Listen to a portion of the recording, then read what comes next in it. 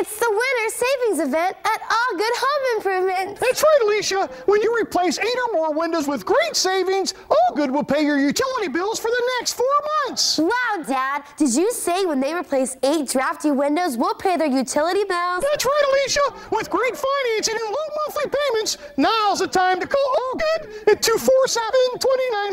So what are you waiting for? Make your home more comfortable and call us today. And remember, we'll, we'll save you a lot of money.